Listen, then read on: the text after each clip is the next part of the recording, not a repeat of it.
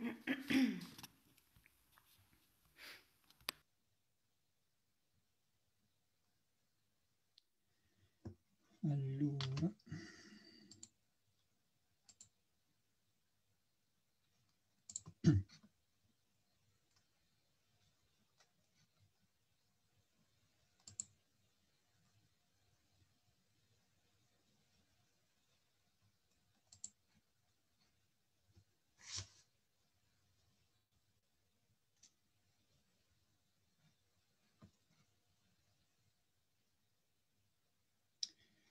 Ok, allora siamo in diretta intanto sulla pagina Facebook eh, della Società della Cura. Adesso aspettiamo ancora 5 minuti, dopodiché eh, intanto condivido eh, un po' dappertutto.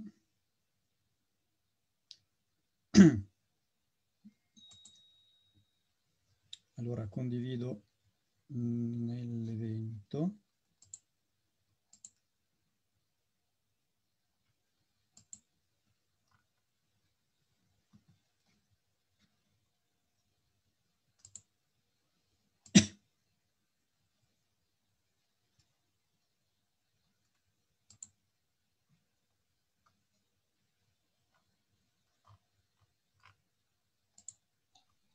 Non lo vedo, dov'è che è su? Hai detto sulla pagina di Como, dovrebbe essere sopra l'ultimo di Celeste?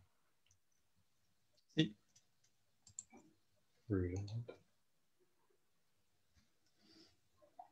Oh, perché non mi fa vedere? Che puttana è. Ok, adesso siamo anche nella pagina dell'evento. Ah, ok. E dunque, vabbè, aspettiamo ancora qualche minuto. Eccolo qua. Trovato. Eh, dovremmo mm, vedere un attimo. Perciò adesso sono le 4 e va bene, dovremmo essere nelle nostre pagine. Va bene.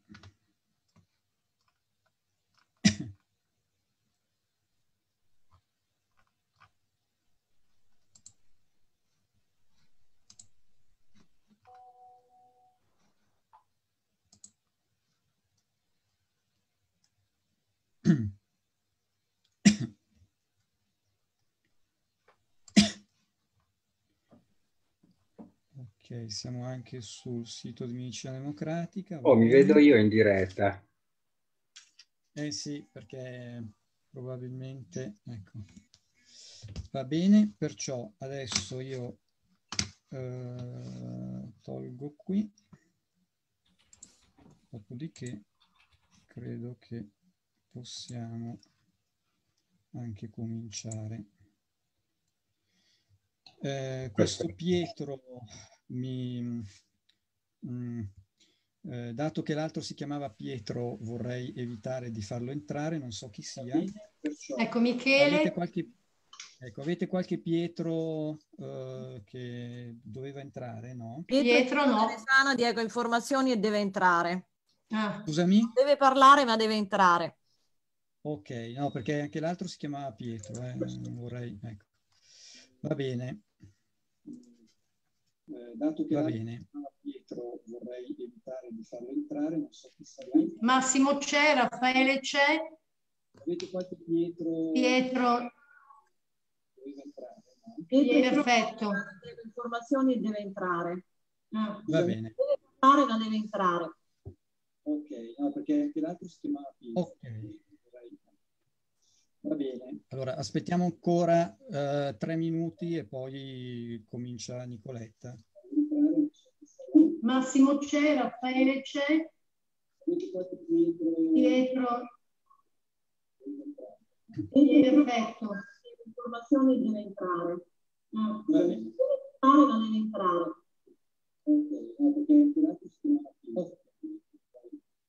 Ecco, ehm, è il caso forse, perché eh, continuo a sentire dei ritorni, eh, forse mi devo eh, staccare tutti i browser. Sì, spegnete tutti l'audio che arriva dalla diretta.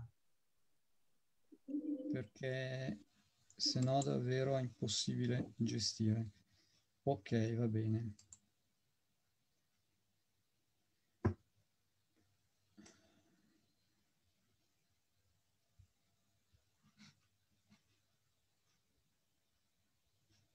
Aspettiamo ancora qualche minuto.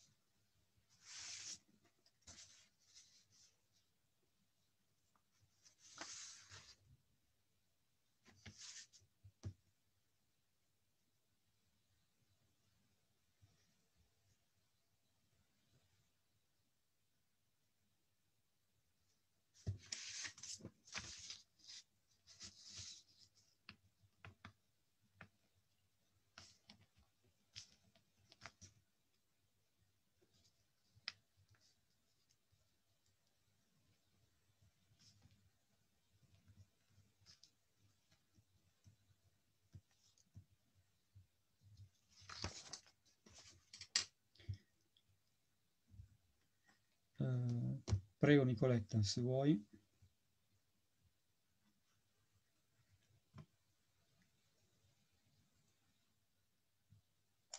Posso cominciare? Direi di sì. Sì, sì. Mi dai tu la parola, la, la prendo direttamente? Sì, sì, prendila tu. Ok, è tanto ok. tu- Allora, ciao a tutte e a tutti. Sono Nicoletta Pirotta di IFE Italia, Iniziativa Femminista Europea e, e niente. ehm, per cominciare eh, volevo, volevo dare dei numeri. Eh,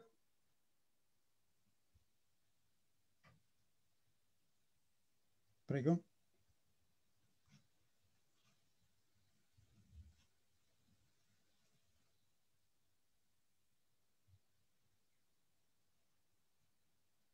C'è qualche problema? Sì, Perché? Eh, perché mi ritorna, mi ritorna indietro. Ma provo, Ah, dai, eh, provo. Spegni la diretta, eh. devi spegnere Facebook se hai acceso Facebook. Ah, ok, allora spengo Facebook. Aspetta, eh. Ecco. Aspetta. Ok, adesso l'ho spento. Benissimo, allora non darsi più Però sono uscita, no? Perfetto. Ok, No. così va bene? Perfetto. Va bene, Scusate, allora, ricominciamo. ricominciamo. Secondo Chuck, via. Via. Via. Sono Nicoletta Pirotta, Iniziativa Femminista Europea, IFE Italia. Iniziative in, in oltre 50 piazze, centinaia di attiviste e di attivisti eh, coinvolti, oltre 700 eh, fra associazioni, gruppi, reti di movimento. Non sto dando i numeri, sto dando conto invece della concretezza del percorso di convergenza per la società della cura che oggi ha lanciato una, una mobilitazione nazionale e l'iniziativa di Como è parte di questa mobilitazione per manifestare e per manifestarsi. Il percorso di convergenza per la società della cura è nato durante il lockdown e per tappe ed iniziative successive ha saputo coinvolgere centinaia di gruppi, di associazioni, di reti di movimento, oltre a singole eh, donne e a singoli uomini. Nel percorso di convergenza abbiamo condiviso una consapevolezza e un'urgenza.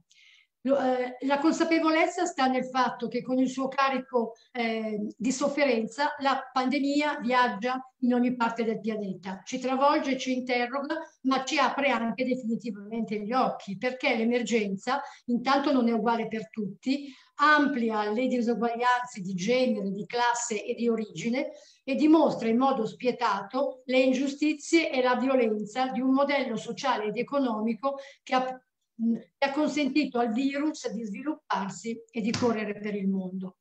L'impatto eh, dell'economia ehm, l'impatto del coronavirus sul, sull'economia globale rischia di far precipitare mezzo miliardo di persone sotto la soglia di povertà estrema. Eh, lo sostiene Oxfam, Oxfam, una rete globale di organizzazioni no profit che attraverso il, il, il, rapporto internazionale Dignità non miseria denuncia come la contrazione di salari e di redditi causata dallo shock pandemico rischia di ridurre in povertà fra il 6 e l'8% della popolazione mondiale. La Caritas in Italia stima che sono 10 milioni le persone a rischio di povertà assoluta a causa della pandemia. Voglio semplicemente sottolineare il fatto che saranno le donne le più colpite perché in ogni parte del mondo, le donne sono oggettivamente più povere degli uomini, intanto perché spesso non lavorano e quando lavorano hanno lavori precari o sottopagati. E intanto il collasso climatico non si ferma, producendo effetti negativi in ogni parte del mondo. Da qui nasce l'urgenza, l'urgenza di mettere in discussione la gerarchia di valori e di poteri che governa il mondo, rendendo visibile un progetto di società alternativa fondata sulla cura, appunto, cura di sé, degli altri e del pianeta. Di fronte al pessimismo della, regione, eh, della ragione, quindi, vogliamo rispondere con l'ottimismo della volontà, con la convinzione che anche la notte più lunga non è eterna, facendo una citazione importante, e per questo acquistano grande importanza dentro la pandemia le lotte del Black Lives Matter negli Stati Uniti e le grandissime manifestazioni che in Polonia, organizzate da donne e da organizzazioni femministe, hanno impedito che una legge eh, peggiorasse una già pessima legge sull'interruzione volontaria di gravidanza. In questo senso ha molta importanza nel nostro Paese il percorso di, di convergenza che oggi presentiamo perché mobilita le migliori eh, eh, energie presenti nella società ed offre proposte concrete alla crisi insieme ad una visione diversa per un futuro differente. Non vogliamo infatti ritornare alla normalità di prima perché quella normalità era il problema. Per questo nel manifesto di principi e di valori che abbiamo condiviso e, insieme, e eh, nel volantone che è un po' il nostro recovery plan che abbiamo proposto, vi sono delle proposte concrete e applicabili che troverete fra l'altro nella pagina nella, nel, nel, blog dedicato e eh, nelle quali non entro nel merito adesso perché altri interventi dopo di me lo potranno fare. Quello che mi interessava dire era che quelle proposte che, non, cioè che noi avanziamo, che hanno a, a, a che vedere con la, la, rivalutazione del pubblico rispetto al privato e i finanziamenti adeguati per tutta la rete di servizi pubblici, non sono proposte che eh, stanno nel libro dei sogni, ma sono proposte assolutamente eh, praticabili con alcune, eh, con l'assunzione di alcuni ehm, eh, come si può dire, eh, di alcuni istituti che renderebbero possibili e concrete queste proposte. Pensiamo ad una patrimoniale che tassi profitti e, e ricchezze, pensiamo alla riduzione delle spese militari, all'eliminazione dei sussidi ambientalmente dannosi, all'utilizzo dei fondi della cassa eh, depositi e prestiti. Ma nel, e pensiamo anche a tutta quella rete, poi ne parleremo nella seconda parte di questa iniziativa eh, Comasca, eh, che vede fra l'altro la presenza sia online sia eh, in piazza di, eh, di molte attiviste e di molti attivisti. Ecco, insieme a questo pensiamo anche che siano importanti, eh, sia importante eh, sottolineare la, ehm, la, presenza e la, la, l'amplificazione di quelle esperienze, di quelle pratiche di eh, solidarietà e, e di neomutualismo che ci dicono che la società della cura non è soltanto un'utopia, ma che già oggi è presente nella nostra società. Nel manifesto, infine, scriviamo che nessuno e nessuno si salva da sola, o da solo perché rifiutiamo la logica individualista che ci vorrebbe persone reciprocamente indifferenti per riaffermare invece il valore della collettività solidale che vuole cambiare lo stato di cose presenti. Da oggi il progetto di società della cura comincia a camminare e il percorso di convergenza continua e continuerà perché la cura siamo noi. Concluso.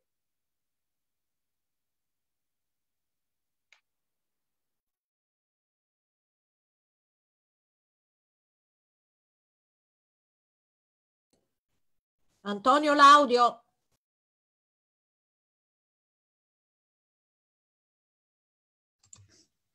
Allora, eh, grazie Nicoletta per, per, il quadro che hai fatto. A questo punto do la parola a Massimo Lozzi dell'Associazione Territori che si trova eh, alla Diga Foranea, per cui alla nostra manifestazione fisica per, per il suo intervento.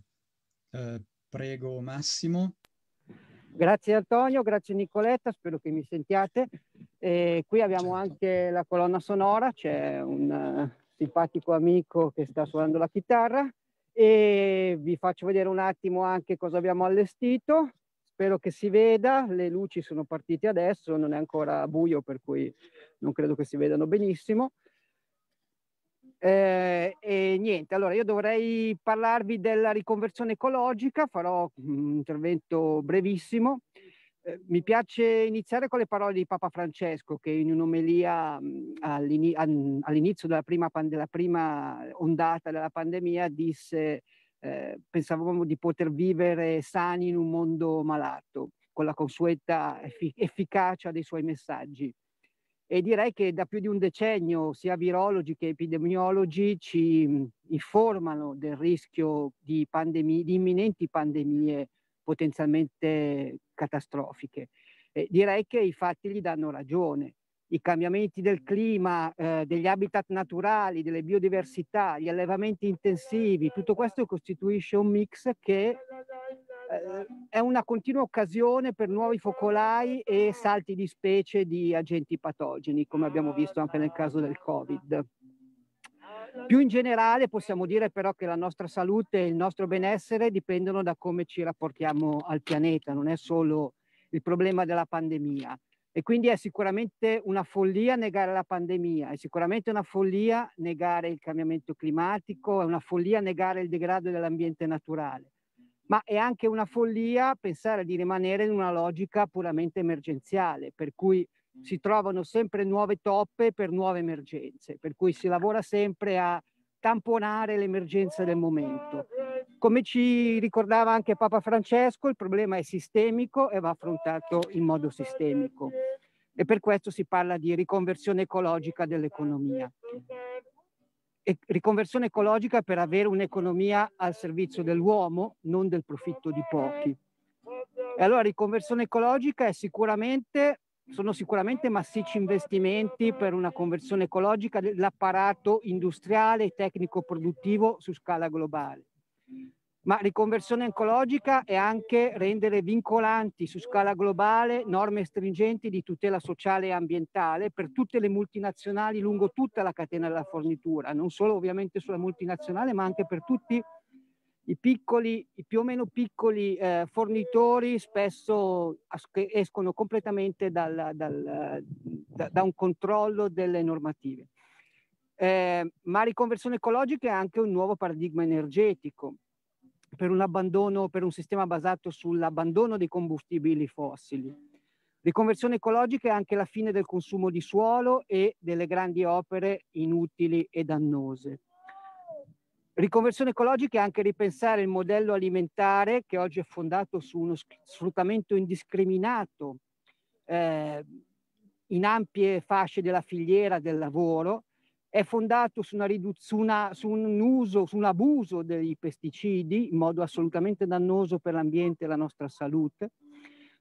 Una filiera del cibo che non produce ormai cibo di qualità, ma produce cibo spazzatura in una logica di profitto Riconversione della filiera del cibo anche orientata alla promozione di filiere corte a basso impatto ambientale.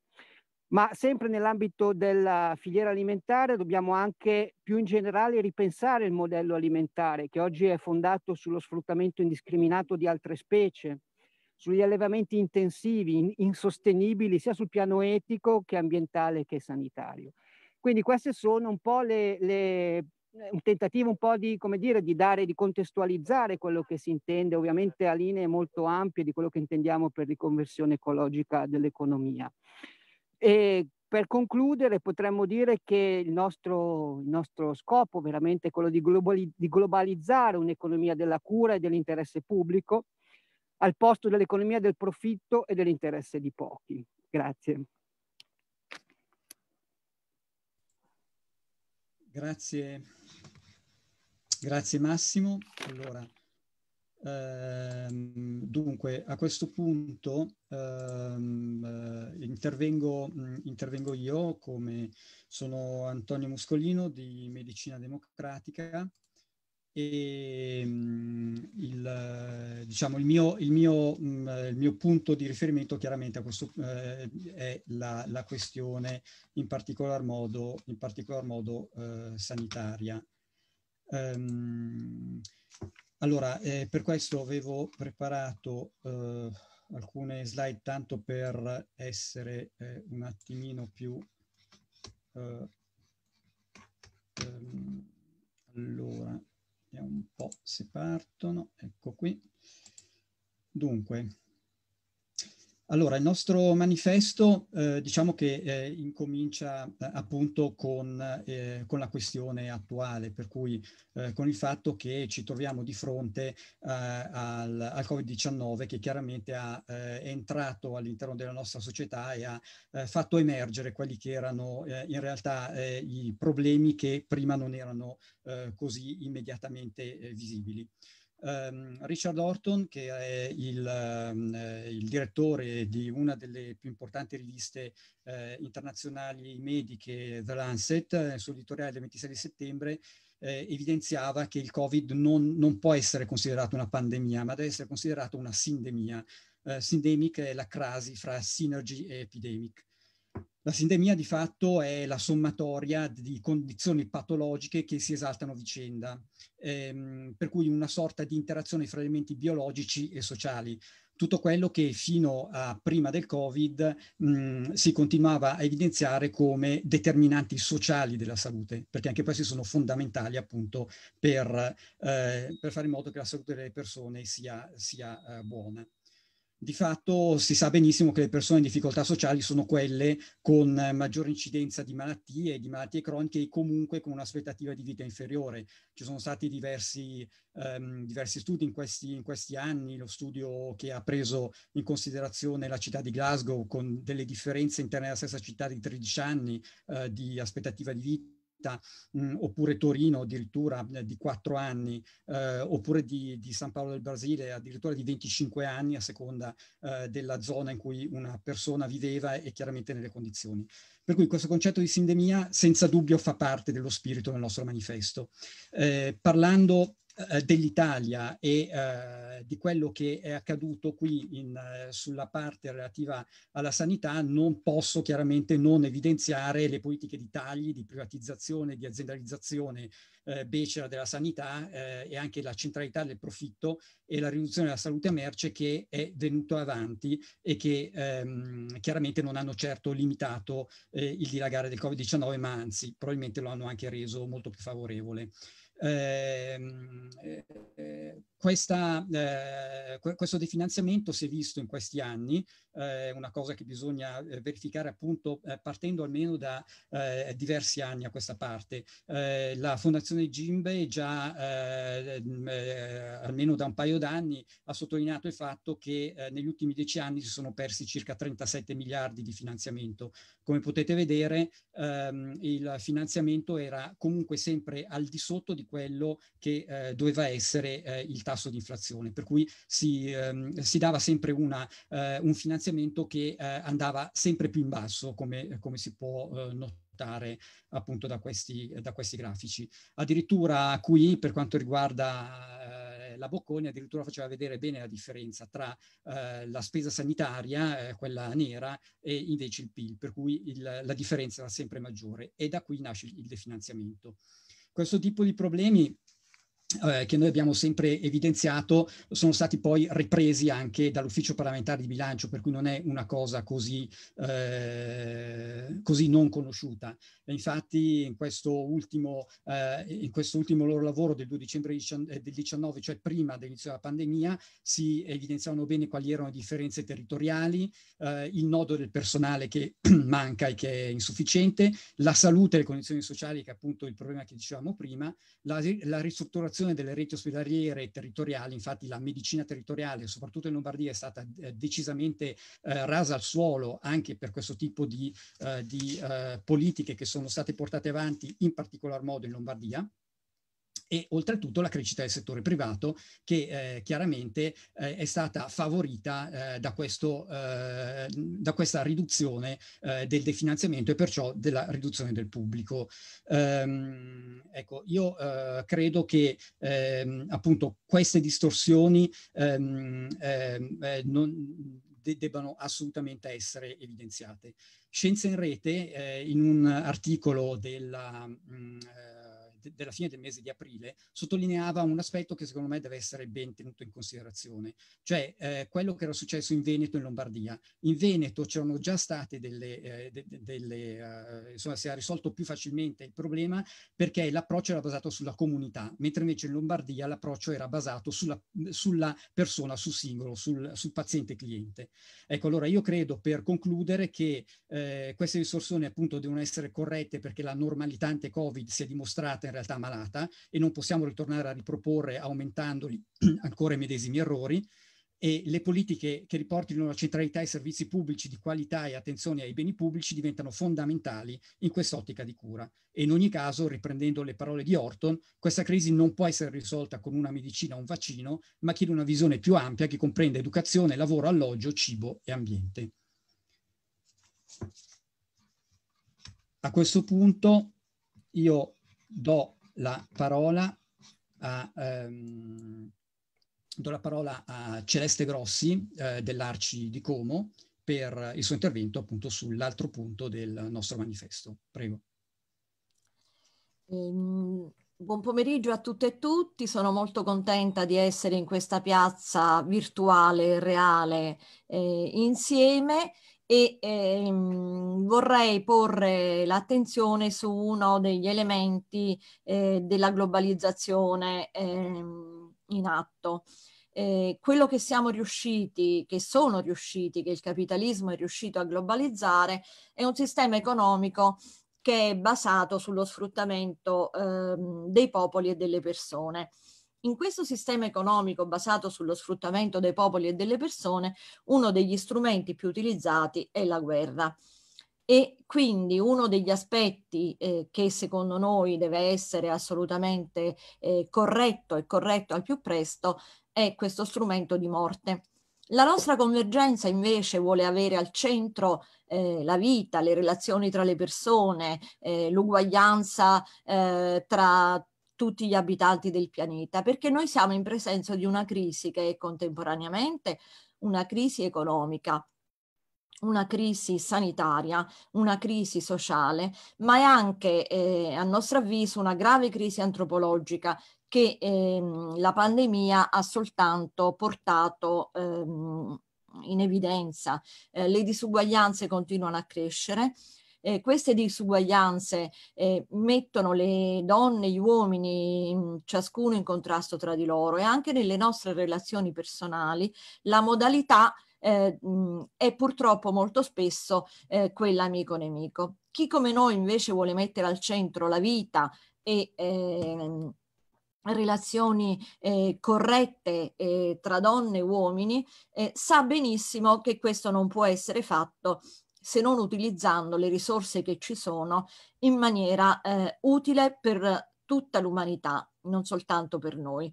Una delle cose che il nostro manifesto propone, lo propone anche nella mobilitazione di oggi, è la riduzione drastica delle spese di, militari. Perché se le spese che noi eh, dedichiamo e nel nostro paese purtroppo sono veramente tante, nella nostra regione ahimè eh, c'è l'80% delle industrie di armi leggere, quindi sappiamo benissimo che questa cosa ci riguarda davvero tanto. Se riusciremo a ridurre queste spese militari drasticamente, ovviamente la nostra utopia è quella di eliminarle, eh, ma eh, la concretezza ci riporta a dire che per ora le dobbiamo soltanto ridurre drasticamente. Se riusciremo a ridurre drasticamente le spese militari e a destinare queste spese a spese sociali, avremo fatto un bene alle persone, un bene anche all'ambiente, perché a volte, Massimo prima lo ricordava, eh, ci sono dei problemi eh, del sistema economico industriale che eh, pesano fortemente sulla eh, crisi climatica ambientale, sulla crisi climatica ambientale pesa fortemente anche la guerra anche eh, le armi con cui questa guerra viene combattuta. Se queste spese invece le dedicassimo al sociale e quindi alla vita nostra e di tutti eh, gli altri umani presenti insieme a noi su questa terra, probabilmente riusciremmo a, a ridurre fortemente anche eh, l'impatto che le guerre hanno e l'economia di guerra ha ehm, sui paesi ehm, su, su, sui paesi africani, sui paesi, sui paesi asiatici, sull'America eh, Latina, da cui proviene tantissima dell'immigrazione eh, che noi abbiamo in Italia. Questa è un'altra guerra in corso, perché sostanzialmente nel nostro mare si combatte una guerra tutti i giorni. Le persone che partono in cerca eh, di futuro, eh, di una vita migliore, in cerca eh, anche inseguendo i propri sogni, le proprie utopie, come è giusto che sia, come abbiamo fatto noi e come continuiamo a fare, queste persone vengono ehm, spesso eh, ammazzate eh, nei cimiteri marini, eh, come è diventato il nostro eh, Mar Mediterraneo, ma anche quando arrivano eh, non vivono qui nella nostra eh, Italia, uno dei paesi più ricchi del mondo, una condizione di accoglienza degna. Invece noi vogliamo che la vita sia degna per tutti, eh, per noi che siamo nati in Italia, ma anche per chi è arrivato qui eh, pensando che in questo luogo avrebbe trovato democrazia e diritti e ha invece trovato, ahimè, ancora una volta eh, molti eh, ostacoli eh, alla propria eh, vita degna. E dunque l'economia di guerra è un'economia insostenibile eticamente e insostenibile economicamente ed è insostenibile anche per il futuro delle generazioni, anche ambientalmente.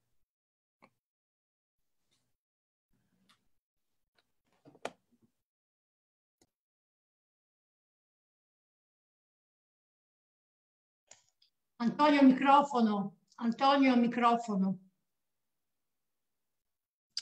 Grazie Celeste. Allora, ehm, a questo punto vediamo di approfondire la questione economica eh, appunto che, eh, che, è affrontata nel, nel manifesto. Eh, dunque chiedo a, a, Sandro Giana di Attac Como eh, il, di fare il suo intervento appunto su questo punto. Grazie.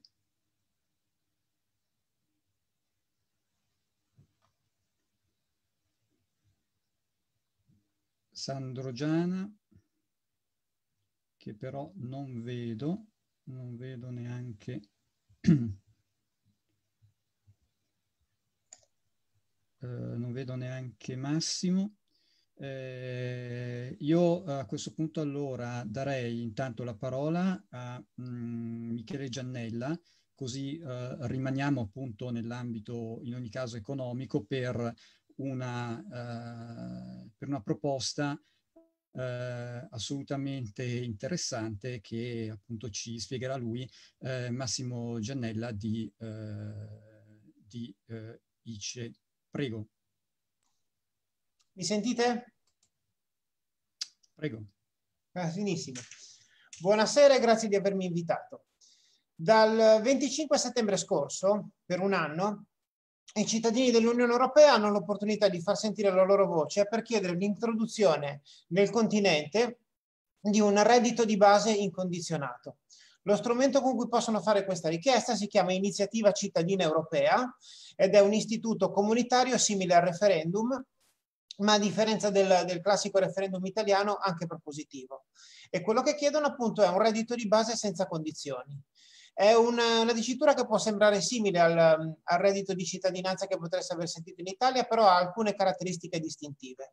Il reddito di base è infatti un reddito versato da una, secondo la definizione classica, da una comunità politica, appunto l'Unione, eh, su base individuale, ehm, senza controllo delle, su, su, base individuale, senza controllo delle risorse, cioè senza controllare quanto uno sia sostanzialmente già ricco di suo e senza esigenza di, di contropartite, quindi senza chiedere in cambio una prestazione lavorativa come invece viene fatto nelle classiche misure di sostegno al reddito vigenti oggi in, in Europa.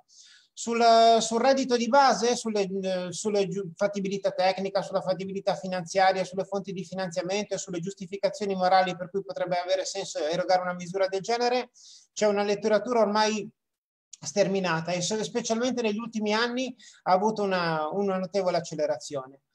L'unico aspetto di, di, su cui mi sento di insistere qui in un evento come questo è che avrebbe tra le sue giustificazioni quello di riconoscere il, remunerandolo, il grande valore economico che, che, produciamo quotidianamente, spesso anche senza rendercene pienamente conto, con tutto il nostro lavoro di cura, di manutenzione, di, eh, manutenzione dei beni pubblici, manutenzione delle reti e delle reti sociali. Per dare una stima indicativa della grandezza del valore di cui, di cui stiamo parlando, Um, secondo i dati di un osservatorio Domina sul lavoro domestico, nel 2018 è stato generato valore con questo lavoro di cura apparentemente invisibile pari a 20 miliardi. E non solo questo valore non è stato retribuito, ma soprattutto non viene pensato come lavoro, quindi non viene certificato come tale, quindi questo ostacola ulteriormente um, il riconoscimento del suo valore ritornando, al, ritornando al, allo strumento referendario, quello che, do, quello che, è necessario fare è raggiungere un milione di firme in tutta la comunità europea entro un anno e, nei, e in sette dei paesi eh, aderenti è necessario raggiungere un quorum minimo di firme, eh, che per l'Italia è di circa 53.000, eh, 54.000, poco meno di 54.000 firme di quorum, con un obiettivo dichiarato de, entro l'anno di almeno il doppio, quindi di circa 103.000 firme. È sicuramente un obiettivo ambizioso, però già dalle prime settimane del, le, le, i risultati delle prime settimane di raccolta firme ci portano ad essere ragionevolmente ottimisti. Per darvi un'idea, eh, nel, una, una, ICE analoga si era tenuta nel 2013, quindi sette anni fa, ehm, in, cui chiedevamo, all'Unione Europea non direttamente l'erogazione, ma ci mettevamo a chiedere degli studi di fattibilità di una misura del genere. E in tutto l'anno abbiamo raggiunto sette anni fa 4.531 firme. Quella soglia l'abbiamo raggiunta quest'anno in 22 giorni e mezzo. E soprattutto veniamo da sette anni in cui eh, il tema è diventato largamente più accettabile presentabile nell'opinione pubblica. Eh, chi ha seguito per, più o meno direttamente ehm, il dibattito in merito saprà che se, riceve sempre più sostegno da, da associazioni come, come, quelle che compongono la, la, giornata di oggi, ma anche dalla classe dirigente imprenditoriale e da, e da sempre più esponenti politici. Questo comincia ad, avere, ad avvenire finalmente anche in Italia. Um, l'esempio probabilmente più noto è quello del, del, Movimento 5 Stelle e in misura molto più piccola del Partito Pirata che, fatto, che l'hanno fatto nello statuto, ma sempre più esponenti di partiti politici diversi eh, stanno, di, stanno, esprimendo il loro sostegno espresso a questa misura. Auspico che la, questa, l'allargamento di questo sostegno si estenda anche alla classe imprenditoriale eh, del nostro paese, perché ancora non c'è un esponente eh, illustre in merito. Eh, lo auspico perché, come, si suona, come diciamo spesso nei, nei dibattiti tra di noi, è una cosa da firmare oggi perché ci serviva ieri. In ogni caso mh, esiste un video dimostrativo che, che, è facilmente disponibile in rete che probabilmente troverete nei canali social di questa iniziativa eh, poco dopo lo streaming di questo evento. È l'inizio di una folle corsa ed è stato un grande piacere presentarla oggi tra voi.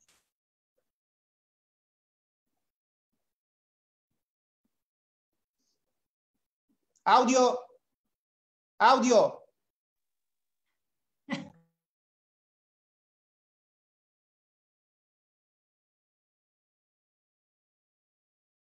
Antonio, audio. Sì, eh, qui è mh, mm, qualcosa di fisico che mi impedisce tutte le volte di partire in maniera corretta.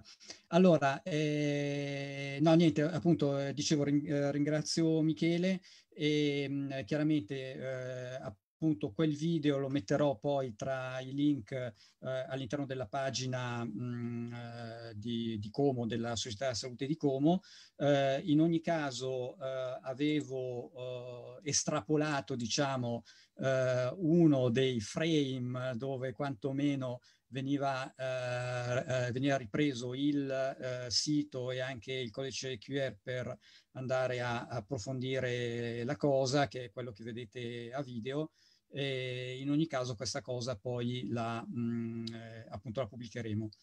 Eh, dunque, do adesso sempre per la questione eh, economica, per il punto relativo all'economia del, del manifesto, la parola a Sandro Giana di Attac che dovrebbe essere eh, anche lui sulla diga foranea. Buonasera a tutti. Il, l'intervento verte sul lavoro nell'economia della cura. 25 anni fa eh, Jeremy Rifkin scrisse un volume che fece molto scalpore, che si chiamava La fine del lavoro e parlava del declino della forza lavoro e dell'avvento del, dell'era del post-mercato.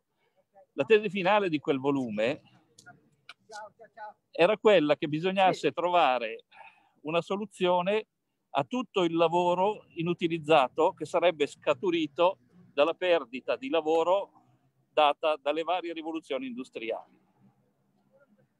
Oggi la situazione non, è, non deve far fronte solo a quel problema lì, ma deve far fronte anche a un problema che forse è peggiore e che Warren Buffett, uno degli uomini più, più ricchi del mondo, ha sintetizzato con la lotta di classe dei ricchi contro i poveri.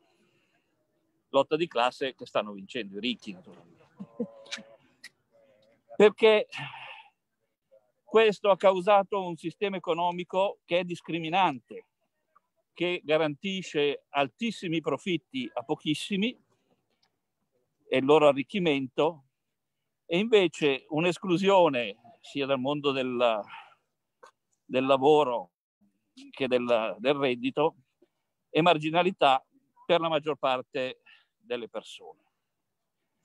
In pratica, diciamo, chi ha un lavoro, ma anche chi si deve accontentare di quello che riesce a fare, vive in una perenne crisi, che è una crisi o di iperproduttività oppure di sottoimpiego. È un, silema, è un sistema malato che produce iniquità. Cosa propone la società del lavoro? La società del lavoro propone un diritto all'esistenza sia che si abbia lavoro, sia che non lo si abbia, in modo tale da poter avere una vita umanamente dignitosa e socialmente soddisfacente.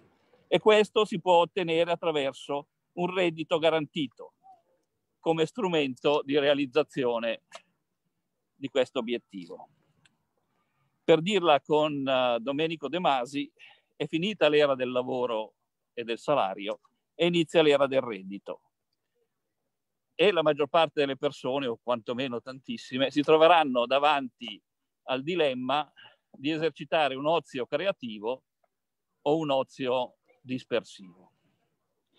Ma quali condizioni si può realizzare diciamo, una, una simile, diciamo, condizio, una simile eh, realizzazione, cioè di un reddito per tutti? Soltanto se si cambiano alcune cause che hanno portato a, questo, eh, a questa situazione. Bisogna passare attraverso una profonda riconversione ecologica, sia alimentare, in modo tale da non avvelenare più il pianeta, sia energetica, perché tutti i lavori dovranno essere sostenibili in modo tale che le generazioni future non si trovano depauperate da risorse indispensabili. Un'altra condizione eh, indispensabile è la valorizzazione dei lavori di cura. Cura per sé, cura per gli altri e cura per il pianeta tutto. Pensiamo soltanto ai parenti di persone che hanno dei disagi o delle disabilità abbandonati e che devono far fronte a sacrifici, perdita di lavoro, perdita di reddito e non sostenuti minimamente. Ma poi c'è anche il diritto alla conoscenza e ai beni immateriali, diritto a un'istruzione gratuita e inclusiva per tutti, un diritto all'informazione e un diritto alla cultura. In pratica il, il sistema della cura promuove tutto ciò che è inclusivo, compreso un welfare universale gratuito per chiunque ne abbia bisogno, in modo tale da garantire la salute e la, eh, l'accesso alla, uh, alle cure per tutte le persone. Nella, diciamo, eh, nella convinzione che la salute non è una merce, come dicono quelli di medicina democratica, e la sanità non è un'azienda. In pratica la società della cura opera affinché il futuro possa essere un tempo che valga la pena di essere pensato. Ho finito.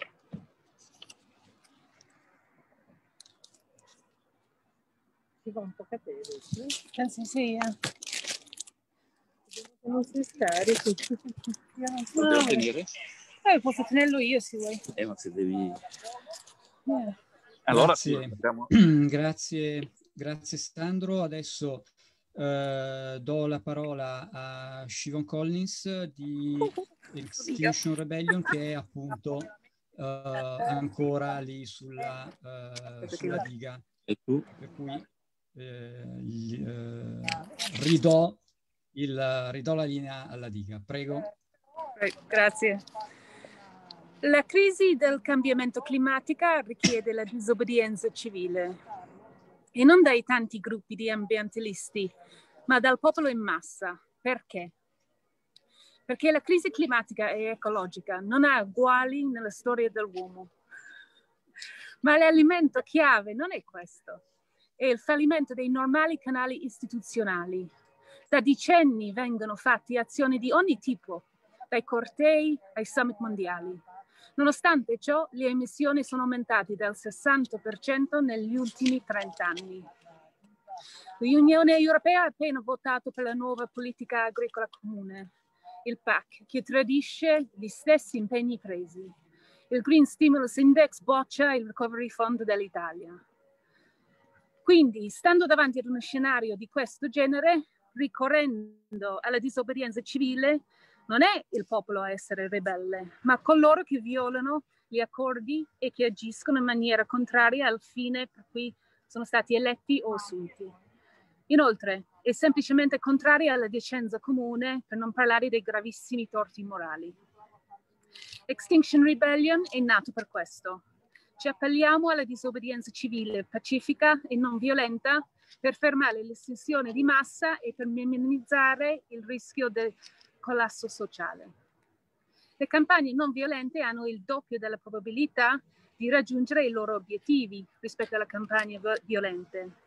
E anche se l'esatta dinamica dipenderà da molti fattori, è stato dimostrato che ci vuole circa il 3,5% della popolazione che partecipa attivamente alla protesta per garantire un serio cambiamento politico. Un tale livello di partecipazione attiva probabilmente significa che molte più persone tacitamente sono d'accordo con la causa. Negli Stati Uniti 3,5% coinvolgerebbe 11 milioni di cittadini, le città di New York e Los Angeles insieme. In Italia 3,5% sono più di 2 milioni di persone, 100.000 per regione o 20.000 per provincia. Il movimento Extinction Rebellion ha iniziato nel Regno Unito, però in Italia la storia è molto più complicata e complessa. principalmente perché in Italia è in atto da tempo un percorso di delegittimizzazione e repressione del dissenso. Si è creato un ibrido, un'entità politica e apparato di polizia allo stesso tempo. Si svolge su più livelli e comporta multiple relazioni di potere.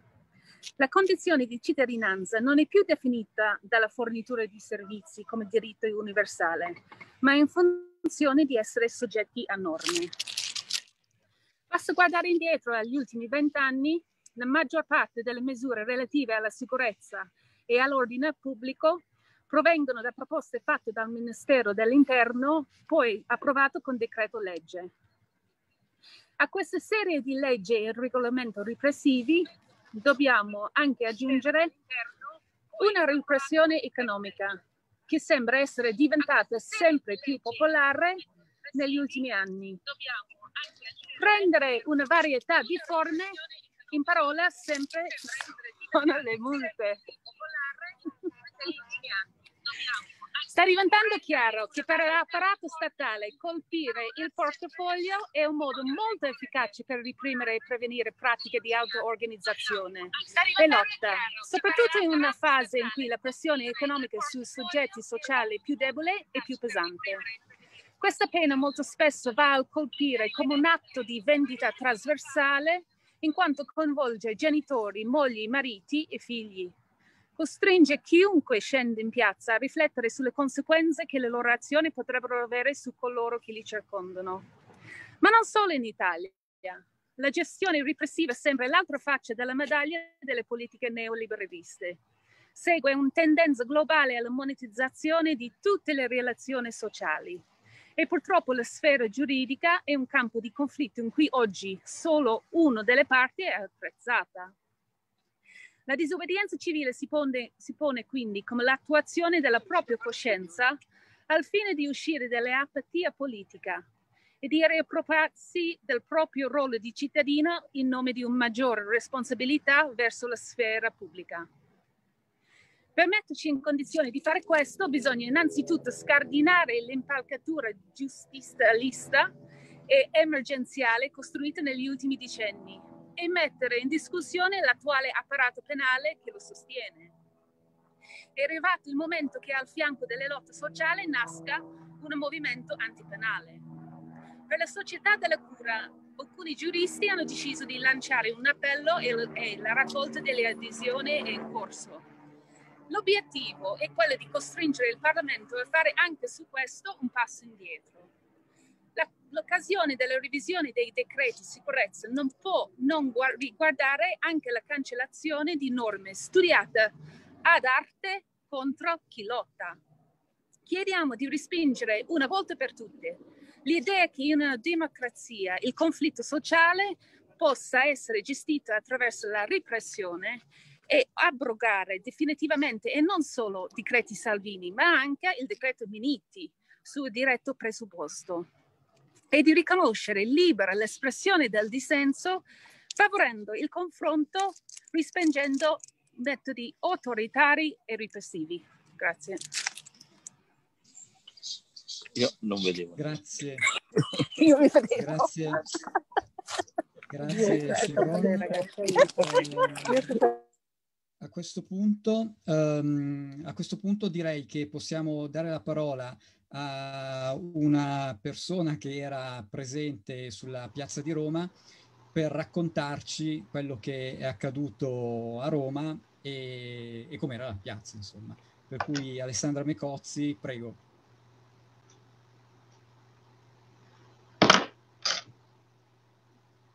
Sono qua? Mi sentite? Sì, sì, prego. Eh, mi dispiace che non mi vedete, oddio non perdete niente, però è che la videocamera devo trovare il modo di farla funzionare sul computer perché non funziona. Va bene. Allora, Roma, eh, per me è stata una bellissima mattinata, anche favorevole, un tempo meraviglioso che c'era a Roma, una giornata di sole, quindi la piazza in piazza c'erano molte persone, non dico masse, però c'erano molte persone, molte tovaglie, come era stato detto, messe per terra, su cui poi eh, do, verso l'una le persone hanno mangiato, molte attività varie, c'era lo stand, cioè lo stand, l'angolo diciamo di Nonna Roma che era quello dove chi voleva poteva portare dei cibi, delle paste, delle cose per che l'attività di Nonna Roma da tempo è quella di sostenere le famiglie che a causa appunto delle restrizioni, del Covid e tutto si trovano in gravi difficoltà. C'era un angolo musicale, c'era un grande pullman, un grande autobus che era quello da cui parlavano gli interventi che sono stati tantissimi, molto belli, di realtà locali molto attive. C'era una performance centrale nella piazza organizzata da gruppi che non saprei dire adesso il nome, però comunque molto bella, una performance diciamo teatrale. Penso che i gruppi che la organizzavano erano proprio dei gruppi teatrali, particolarmente so per certo che c'erano gli auto organizzati per ehm, lo spetta- dello spettacolo, che tra l'altro avevano anche una loro iniziativa in piazza Barberini, poi c'è stato un problema perché volevano venire in corteo in piazza del popolo, ma la polizia li ha bloccati. Eh, che dire altro? Il clima era molto bello, cioè non solo il clima atmosferico, il clima proprio delle persone era molto bello, c'era molta voglia e molta contentezza di ritrovarsi, di rivedersi, anche un po' distanti, un po' tanto, insomma, distanziati, però il clima era veramente molto bello. E molta solidarietà, molta voglia di fare, molta voglia di andare avanti e di non fermarsi a questo, molta voglia di unità, di stare tutti insieme, di muoversi tutti insieme. A mezzogiorno è partito questo mail bombing o Twitter ehm, Store. Eh, io personalmente ho partecipato al mail bombing, quindi abbiamo mandato, sono, sono partite diciamo centinaia di lettere per, indirizzate al Presidente del Consiglio appunto sulle questioni che la società della cura richiede, che riguardano eh, ovviamente riguardano il lavoro, riguardano il reddito per tutti, riguardano l'ambiente e riguardano eh, anche gli investimenti e le assunzioni, cioè riguardano delle pilastri fondamentali per operare un cambiamento che è quello che pensiamo tutti quanti che sia eh, che serva per rispondere a questa situazione straordinaria, a questa pandemia, a questa situazione anche molto drammatica che viviamo e che sappiamo che proviene però eh, e provoca anche proviene e provoca eh, delle gravi eh,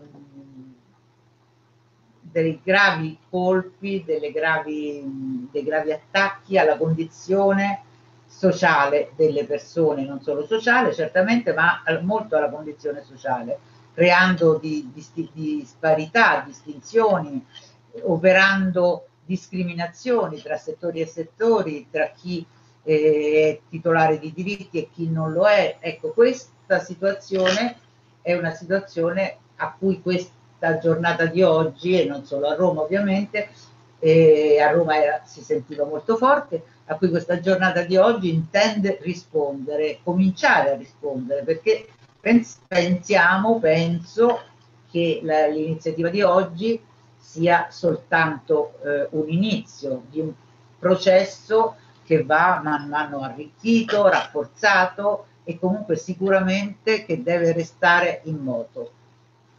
Alla fine vorrei dire, non so se c'è tempo ancora, però comunque voglio assolutamente eh, fare un ringraziamento non solo a chi ovviamente ha partecipato, a tutte le persone, ai tanti giovani, alle ragazze, ai ragazzi che hanno partecipato in vari modi eh, a questa giornata, ma voglio fare un grande ringraziamento a chi eh, l'ha organizzata in, a Roma e non solo a Roma, eh, perché credo che sia stata sia come idea, sia come pratica e realizzazione, sia stata una cosa ottima. Quindi grazie, grazie davvero a Marco, a Raffaella, a Monica, Alberto e a tutti quelli con cui oggi, anche lontani, però con cui eravamo molto vicini. Io avrei finito, se volete chiedere qualcosa ben volentieri. Grazie. Eh, dunque, per quanto riguarda anche il mail bombing e il Twitter storm, eh, direi che poi la cosa comunque può andare avanti eh, anche nei prossimi giorni, chiaramente. Non è che rimarrà solo eh, relativa alle 12 di questa, eh, di questa giornata, penso. Diciamo. Ma l'indicazione che io ho visto, ecco, poi può darsi pure che non sia precisa, però l'indicazione che io, visto, che io ho visto era dalle 12 alle 14 di oggi.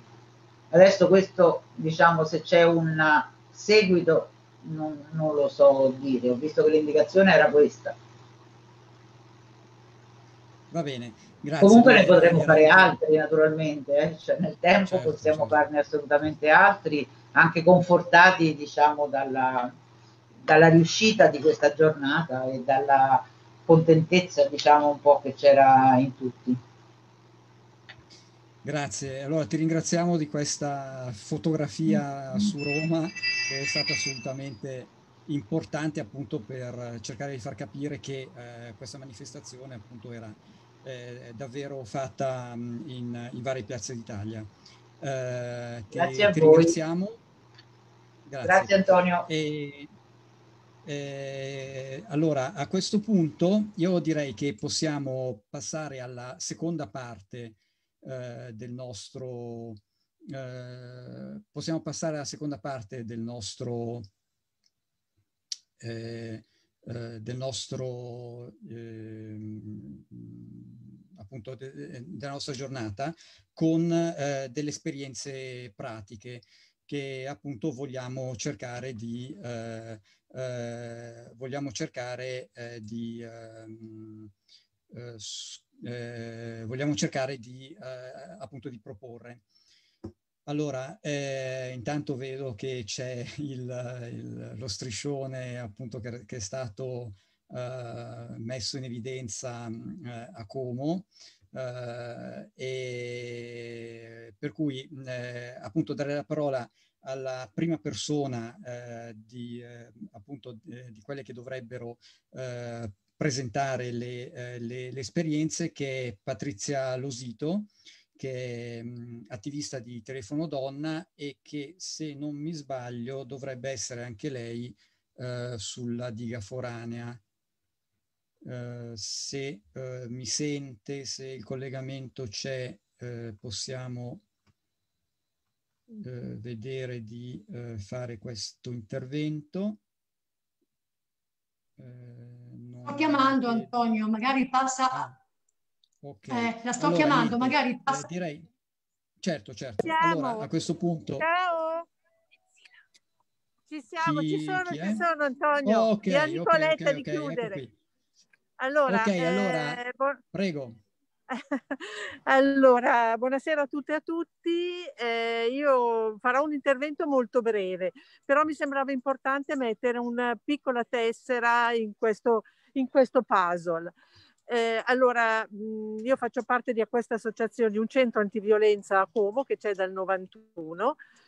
Mm, noi vediamo circa 300 donne all'anno che subiscono violenza e, e quindi con loro costruiamo un percorso di uscita appunto dalla violenza. Eh, offriamo oltre a consulenza, offriamo anche un'assistenza, ehm, una consulenza legale, un'assistenza psicologica e poi eh, appunto costruiamo insieme un percorso di uscita.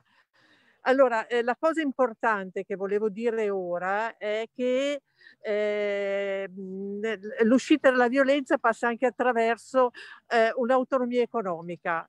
E questo è un dato importantissimo perché sul territorio comasco ancora non c'è un progetto eh, di intervento per un lavoro, per una casa, ma anche proprio di un, di un reddito per cominciare.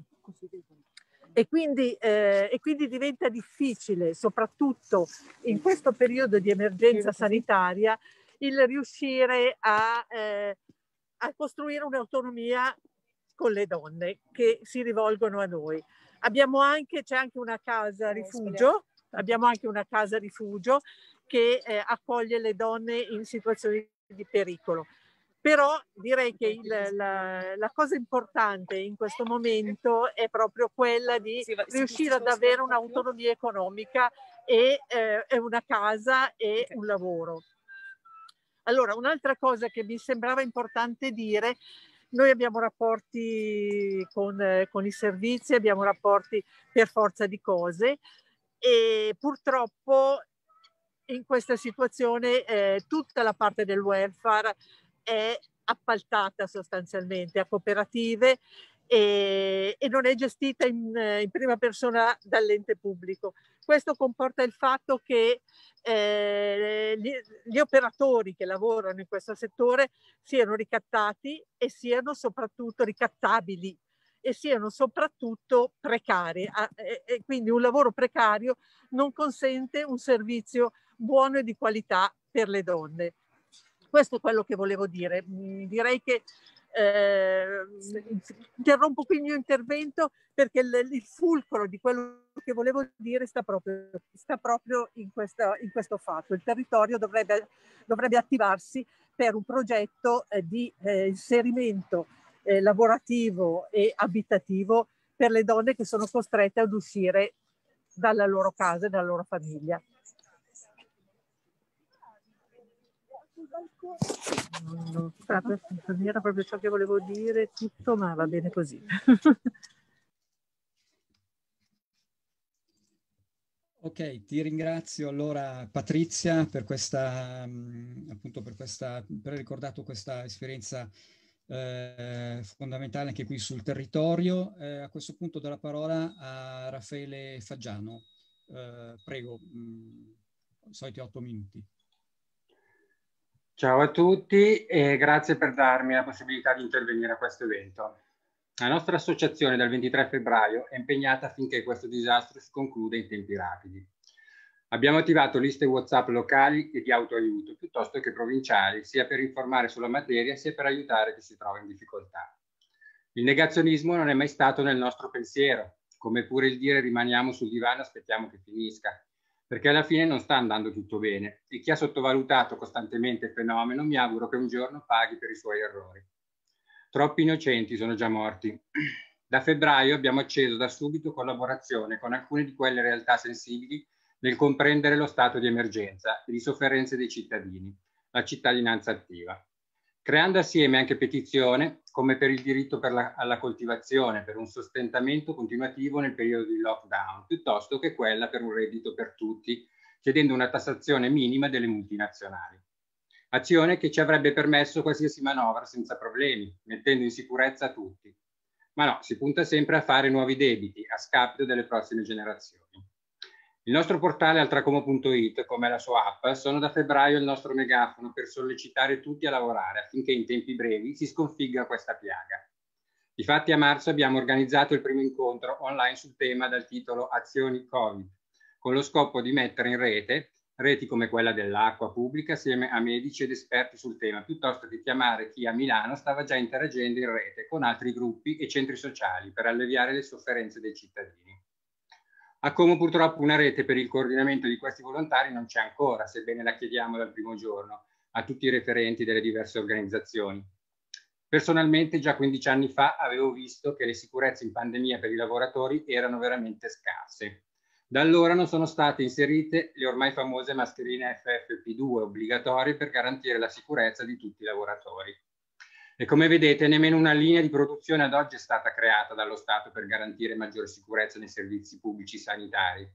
L'ennesimo errore politico?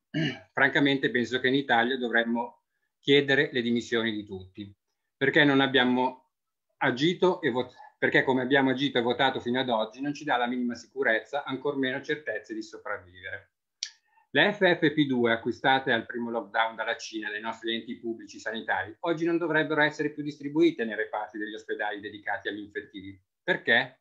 In quanto oggi la Cina vende delle mascherine certamente più sicure e che hanno certificazioni europee che raggiungono il 94% di sicurezza, tipo la CE 2163, sicurezza per dipendenti ma anche per gli utenti. Pare a questo punto che gli scandali di marzo non siano stati approfonditi quanto si doveva Mi piacerebbe vedere le analisi compiute ad aprile da Linea su certe mascherine ora in distribuzione. Giusto per una trasparenza che quotidianamente in questo paese chiediamo a gran voce, o come si dice, fidarsi è bene. Concludo quindi questo mio piccolo intervento ricordando a tutti il nostro IBAN che lo trovate sul sito di noverus.it. Contribuite alla nostra raccolta fondi per le mascherine certificate FFP2 da distribuire a chi opera in prima linea. Occorre, comunque, occorre comunque il pericolo del contagio e con gravi problemi sanitari di diffusione nella comunità. Per la prevenzione è la prima arma per cancellare questo male. Grazie a tutti e passo la parola. Grazie Raffaele eh, per, per, questa, per, questa, cosa, soprattutto relativa alle mascherine, che non è eh, una cosa da poco direi. Allora, ehm, do la parola adesso a Maria Teresa Lietti, eh, insegnante, eh, per il suo intervento appunto sulle, sulle esperienze. Prego. Buongiorno a tutti e a tutte. Eh, allora, io parlo, io sono un insegnante, in questo caso non rappresento un'associazione particolare, ma eh, diciamo che mi faccio portavoce di argomenti che eh, come insegnanti si stanno dibattendo e su cui si sta, si sta molto riflettendo.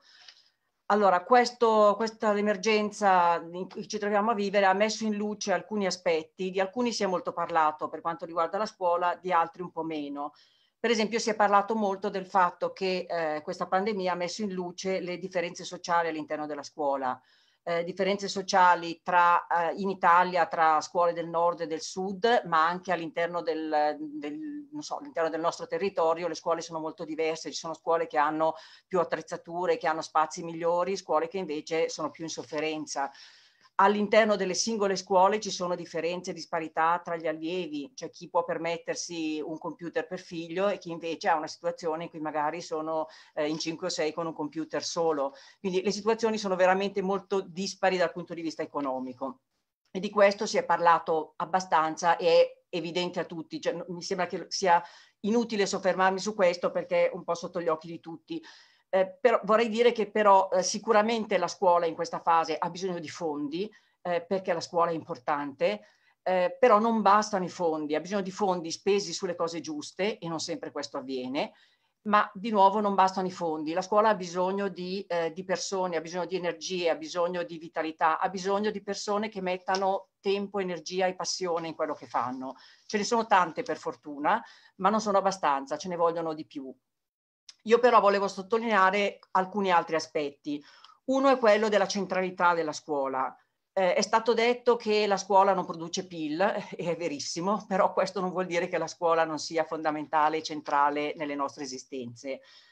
Eh, la scuola, ehm, secondo me, er era la cosa da salvaguardare di più eh, è vero che non produce PIL, ma eh, forse si poteva investire maggiormente invece che pensare a chiudere le scuole immediatamente come è stata fatta nella prima fase e parzialmente adesso, si poteva pensare a investire per metterle in sicurezza e per permettere alle scuole di restare aperte in modo sicuro. Eh, questo non è stato fatto. Eh, io ritengo che la scuola, io non solo io ovviamente, che la scuola sia centrale mh, per molti motivi. Uno è quello che la scuola è un luogo di relazioni, è un luogo privilegiato di relazioni, relazioni dei ragazzi e ragazze, bambini e bambine tra loro, di relazioni tra loro e gli adulti, di relazione degli adulti tra, tra loro, perché nella scuola sono tanti soggetti adulti che si trovano a dover collaborare, eh, relazione tra la scuola e il mondo esterno alla scuola.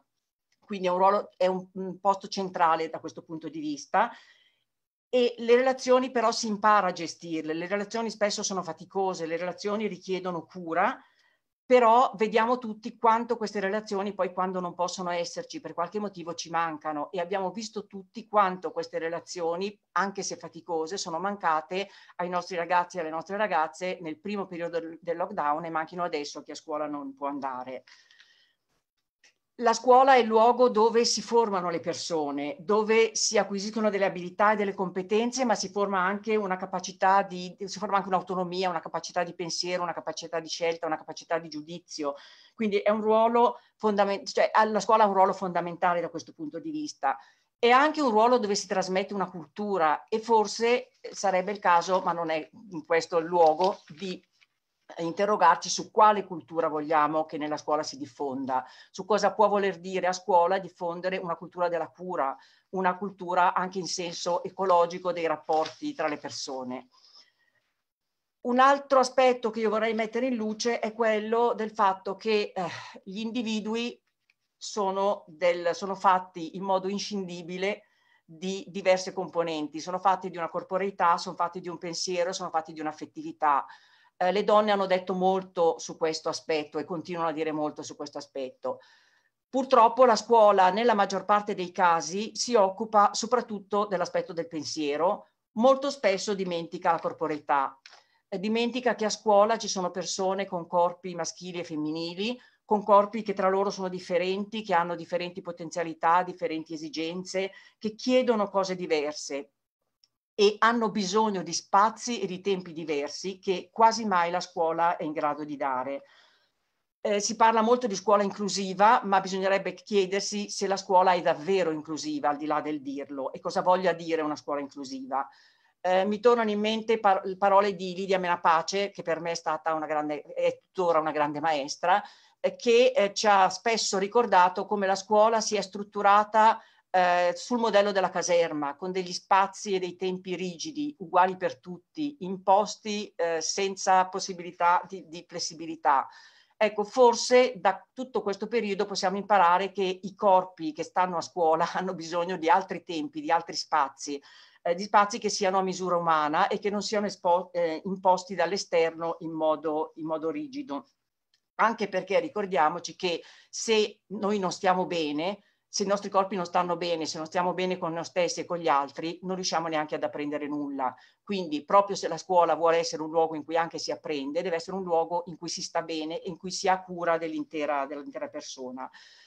Allo stesso modo la scuola deve riuscire a dare spazio a tutte le forme di intelligenza, non soltanto al pensiero logico, non sempre la scuola riesce a farlo e in questo anche la didattica a distanza ha messo in luce molti problemi. Però di nuovo il tempo è poco, non posso, non posso approfondire tutto, sono solo degli spunti che, che butto.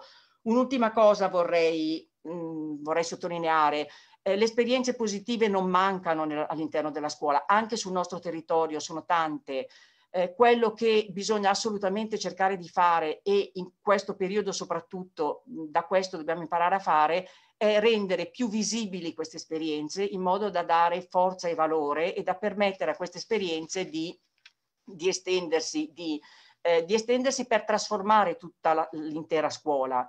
Eh, purtroppo queste esperienze positive spesso sono poco viste, si tende a vedere sempre di più l'aspetto negativo. Eh, io sono convinta che invece da qui si potrebbe partire per rendere la scuola davvero un luogo il luogo per eccellenza delle differenze, dove le differenze possono tra loro eh, dialogare, confrontarsi e possano avere lo spazio necessario e possano essere valorizzate. Eh, concludo con quella che è una frase che, che, io cito spesso quando mi trovo a lavorare con, con, gruppi di insegnanti e che mi sembra particolarmente adeguata in questo contesto e adeguata alle nostre scuole, che è una frase di Alexander Langer che eh, anche qui mi pare che possa fornirci mh, molti insegnamenti. Ecco, lui dice, citando il motto delle Olimpiadi, Citius più veloce, Altius più alto, Fortius più forte, queste parole sono la quintessenza della nostra civiltà. Sforzatevi di essere più veloci, di arrivare più in alto, di essere più forti. Io vi propongo lentius più lentamente, profundius più in profondità, soavius più dolcemente. Con questo motto non si vince nessuna battaglia frontale, però si ha frato, si ha il fiato più lungo. Ecco, è di questo fiato più lungo che credo le nostre scuole abbiano bisogno. Grazie, grazie Maria Teresa anche per questa conclusione. E, ehm, a questo punto do la parola a Giulia Galera eh, della cooperativa sociale Emile Du che ci farà vedere anche delle, delle slide. Ok, prego. Grazie moltissimo dell'invito, eh, buonasera a tutte e a tutti grazie a Maria Teresa per le bellissime parole che ci ha ricordato di Alice Langer. Eh, io vi presento eh, una cooperativa, la cooperativa di lavoro Miledu, eh, di cui sono presidente, che è anche impresa sociale. Impresa sociale in quanto noi operiamo in settori di interesse generale, riconosciuti come di interesse generale dalla, dalla legge sull'impresa sociale e anche dalla riforma del terzo settore. E ci occupiamo in particolare di tutela del territorio e del suo patrimonio, quindi operiamo in ambiti che sono strategici non solo dal punto di vista ambientale, ma anche per la costruzione di relazioni fiduciarie eh, a livello comunitario. Ma siamo impresa sociale anche perché il nostro obiettivo non è eh, il profitto, ma è creare opportunità eh, lavorative per persone fragili. Eh, in modo particolare per alcuni ragazzi migranti che hanno deciso di mettere radici a Como. Scusate, non riesco ad andare avanti. Scusate un attimo, non so cosa è successo. Ah, ecco, sbagliato qui. Ecco, quindi eh, nello specifico nostro, cioè la nostra iniziativa eh, ha preso le mosse non semplicemente dall'intento di integrare al lavoro persone fragili, ma più, ehm, più nello specifico per eh, creare appunto un'impresa insieme ai ragazzi migranti.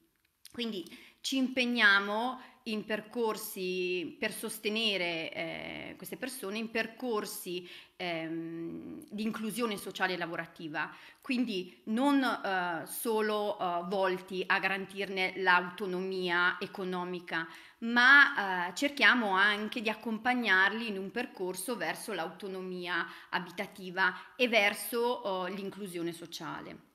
Al contempo ci stiamo impegnando anche per stimolare un processo di cambiamento culturale, quindi cerchiamo di promuovere un modello di società inclusiva che non lasci nessuno indietro, come creando delle occasioni, degli spazi di aggregazione, eh, ad esempio attraverso la raccolta di erbe spontanee come l'ortica o attraverso l'organizzazione di pulizie eh, collettive, di sentieri mulattieri, ma anche attraverso l'offerta di prodotti che incorporano un valore sociale aggiunto. Nello specifico operiamo, ci occupiamo di recupero di muri a secco e di sentieri, coltiviamo erbe aromatiche e fiori edibili e ci occupiamo di apicoltura. Qui vedete qualche immagine nostre, de, della pulizia del sentiero Aldamerini che abbiamo um, ripulito insieme all'associazione Sentiero dei Sogni e vedete anche un muro a secco che abbiamo recuperato in un terreno uh, bonificato sempre da noi. Qui vedete qualche immagine invece nostre, dei nostri fiori, dei fiori che essicchiamo e poi confezioniamo um, in uh, miscele eh, di erbe e, e fiori eh, come tisane, ehm, ma anche ehm, confezioni di fiori che possono essere utilizzati per guarnire primi piatti o, o altre pietanze. Qui vedete invece eh, l'immagine del nostro miele che eh, produciamo in due apiari, che raccogliamo in due apiari, un apiario a Garzola e un secondo a Rebbio, che sono stati avviati grazie alla collaborazione con Hauser Como eh, nell'ambito del progetto Apicoltura Solidale. Vedete anche mh, mm, alcuni nostri prodotti e ehm, un'altra nostra strategia eh, è quella di eh, lavorare in rete, essendo noi molto piccoli eh, e, neonati, perché la nostra cooperativa è nata il primo agosto del 2019, quindi un anno fa, e ci siamo beccati tutto il lockdown praticamente.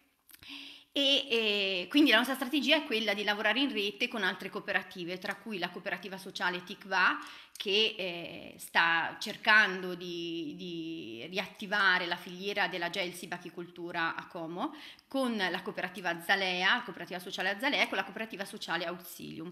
Insieme, proprio negli ultimi giorni, abbiamo lanciato una nuova piattaforma attraverso la quale stiamo cercando di promuovere i nostri, i nostri, prodotti che sono buoni, sociali e locali in quanto così li abbiamo eh, denominati eh, in quanto eh, tutte queste cooperative sono molto attive sia mh, a livello locale sia nel prendersi cura del territorio che nel favorire l'inclusione di persone fragili, quindi persone che diversamente, eh, se non incluse in questi percorsi, sarebbero a, a rischio di esclusione sociale.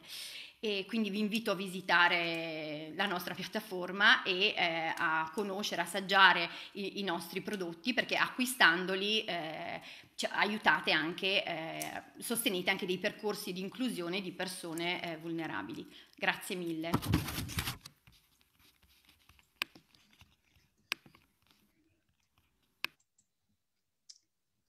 Allora, eh, grazie a Giulia e, mh, per questa esperienza. Adesso eh, do la parola a um, Luigino Nessi, eh, che è vabbè, un, uh, uno storico attivista um, eh, qui per Como Senza Frontiere. Se um, vuole intervenire, prego.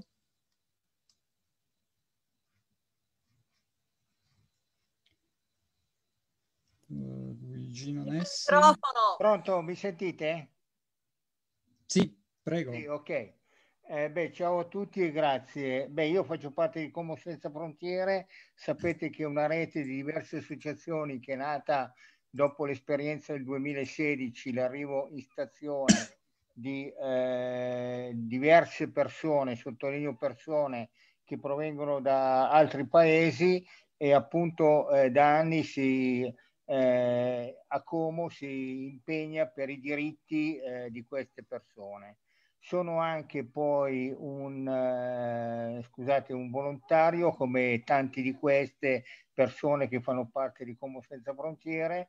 E appunto vorrei segnalare veramente eh, che non, eh, a Como purtroppo non si è preso cura finora di tutte eh, queste persone che arrivano da altri paesi.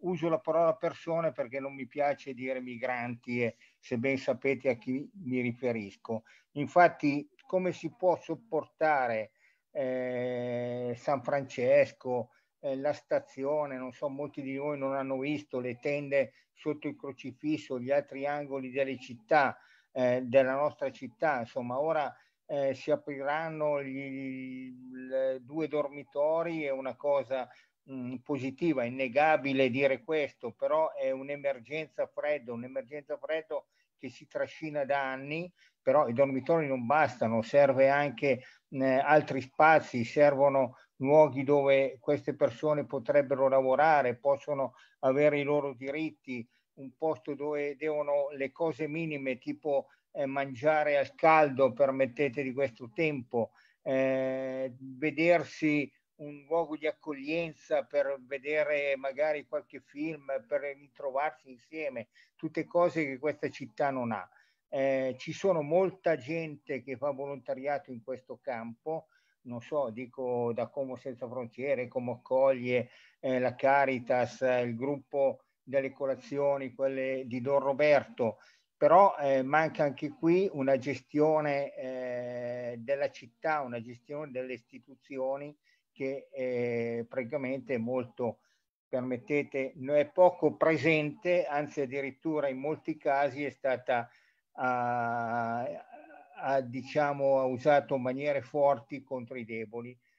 Non parlo dell'ultimo episodio dell'altro giorno, ma anche di tutti quelli precedenti. Quindi poi bisogna vedere se questa eh, idea dei dormitori è ancora valida o non ci potrebbe veramente usare eh, tutti gli spazi che si ha nella nostra città, mi riferisco a un, oltre 100 appartamenti vuoti per appunto dare a queste persone, magari persone di 3-4 eh, insieme, gestione di questi appartamenti dove senz'altro sarebbe un'accoglienza migliore. Tra l'altro sapete che come una città di frontiera quindi questo del passaggio di persone che tentano una vita migliore eh, è, è necessario. Un'altra cosa che mi permetto di segnalare, io ho avuto anche esperienze comunali, tra l'altro vedo Celeste Grossi che con cui ho condiviso con, ha condiviso con me molti, eh, molto tempo eh, a livello comunale e molte idee soprattutto. Eh, io mi ricordo che fin da Paco Sell, che era presente con la giunta Lucini, poi la, mh, mm, con, eh, con, la prossima Como, l'ultima recente, avevamo dato delle idee tipo eh, per esempio, una, avevamo segnalato tra l'altro che era stata molto, ne sto parlando di anziani ora, un altro spazio che secondo me la città ha un po' trascurato, avevamo dato un'idea eh, nuova di rapporto con la Cadindustria, avevamo segnato un sacco di idee per la gestione degli anziani, perché è vero, ci sono anziani come medico e come magari qualcuno che vedo che ha una, mh, una vita, diciamo, serena, è presente, eh, ha una possibilità economica positiva, ma a Como ci sono, credetemi, specie nelle periferie, magari nelle case vecchie del centro, un mucchio di anziani soli che eh, oltre eh, a una situazione economica magari difficile, c'è una situazione proprio sociale di rapporti sono veramente eh, soli e dimenticati, quindi occorre secondo me prendersi cura anche di loro. Avevamo eh, lanciato l'idea del portierato sociale, ehm, tutte cose che eh, purtroppo non sono state colte e forse eh, spero vivamente che nel futuro eh, con la spinta magari di, di quello che della giornata di oggi si possa veramente riflettere anche su queste situazioni di solitudine eh, di anziani. Aggiungo solo una cosa, in questo, in questo tempo di pandemia così ha evidenziato eh, questo dramma specie nelle, nelle case, nelle RSA. Chiedo veramente che forse occorre pensare, cosa che eh, fanno già in altri stati così, se veramente non occorre superare anche eh, questa situazione, questa scelta eh, per gli anziani. Non si potrebbe studiare altri problemi come appartamenti protetti, non lo so. Ecco, è un altro punto di riflessione che mi permetto di segnalare stasera a, a tutti. Grazie.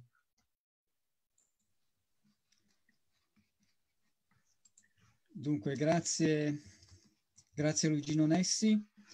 Eh, allora, eh, adesso abbiamo l'ultimo, eh, l'ultima persona eh, che mh, eh, appunto eh, ci presenterà un'altra esperienza, che è Giacomo Scarpina. Prego.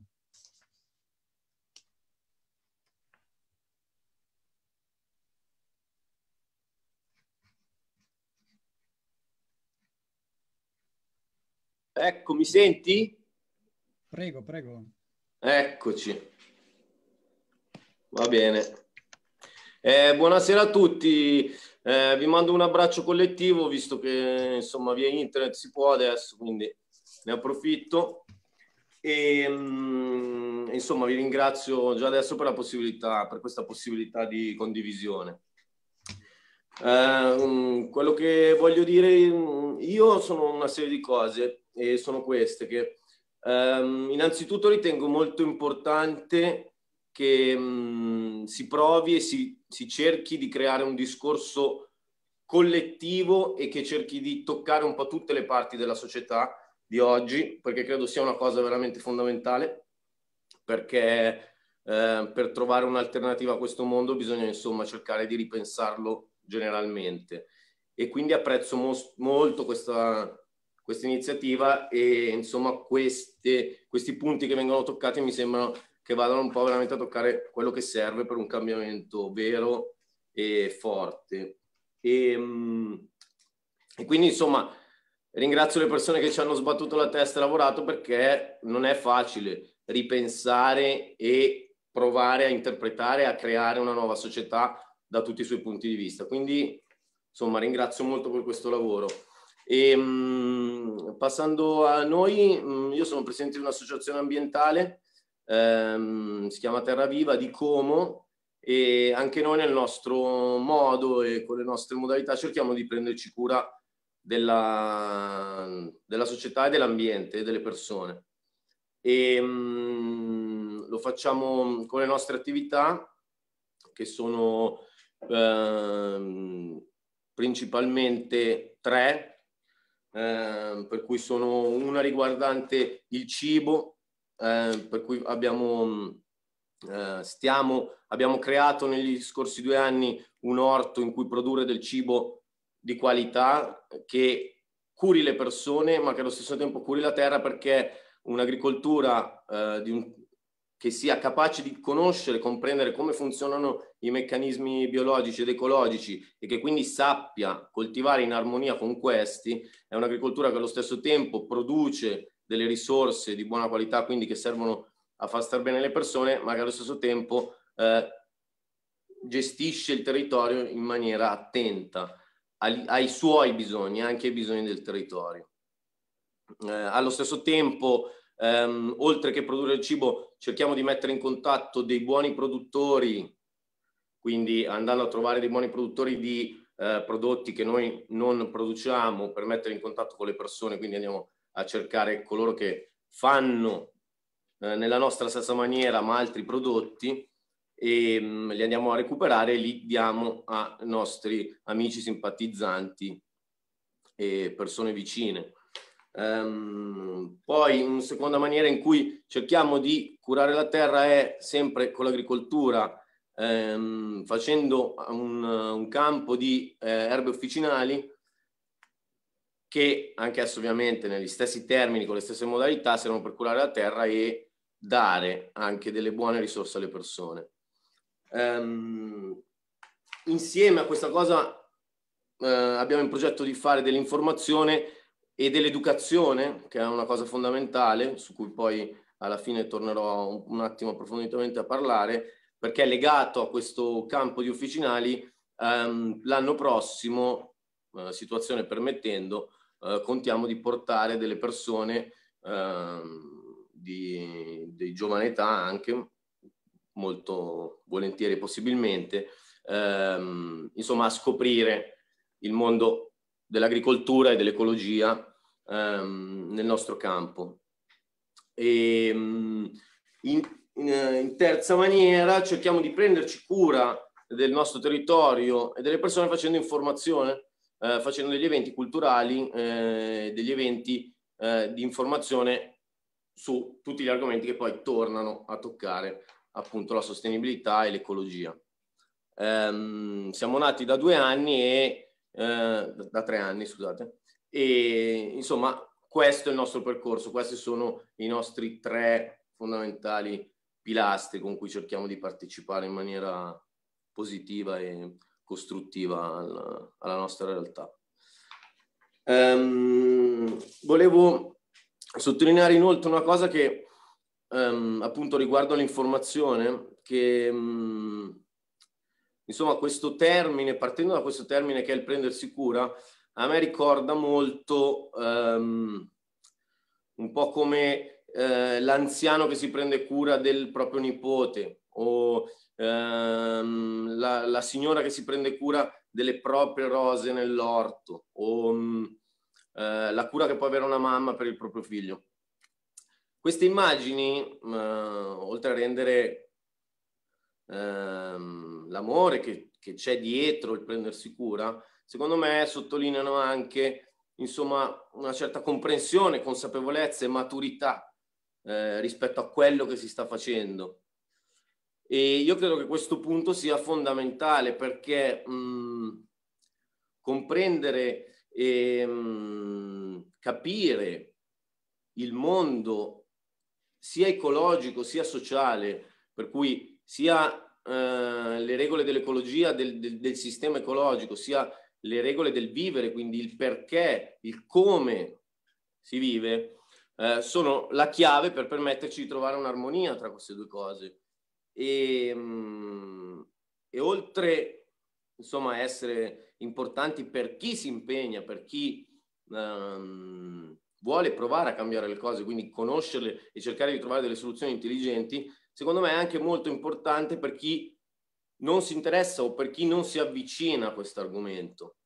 Perché oltre, aver, oltre, ad aver bisogno di buone idee, abbiamo insomma anche bisogno che le persone che non partecipino si avvicinino.